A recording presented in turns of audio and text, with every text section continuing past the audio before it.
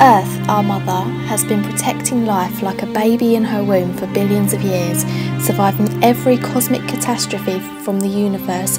She has made us a perfect home with suitable climate conditions and abundant natural resources. It took the Earth a billion years for blue-green algae to produce an oxy-rich atmosphere, millions of years to form the ozone layer and have a scheduled season cycle.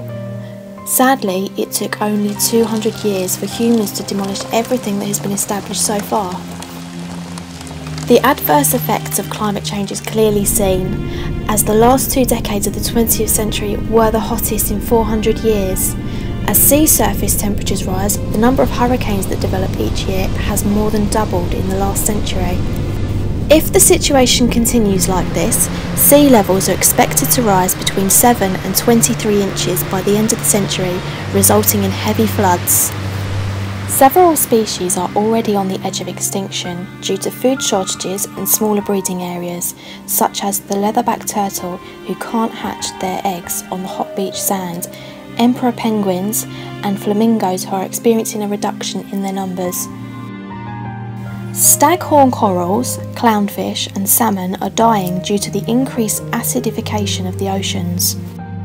If the changes in the climate continues at the present rate, by the end of the 21st century, life on Earth would have to face pretty big survival challenges, like increased frequency of hot extremes, heat waves and heavy precipitation, Increase in tropical cyclone intensity and precipitation decreases in subtropical land regions, leading to severe droughts. By 2020, between 75 and 250 million people are projected to be exposed to increased water stress in Africa alone.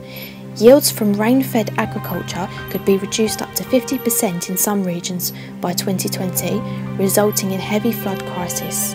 The World Health Organization has already attributed 150,000 deaths per year to climate change. Reduce carbon footprints by supporting clean and renewable energy resources like solar and wind energy, plant trees, recycle, turn to vegetarian to name a few.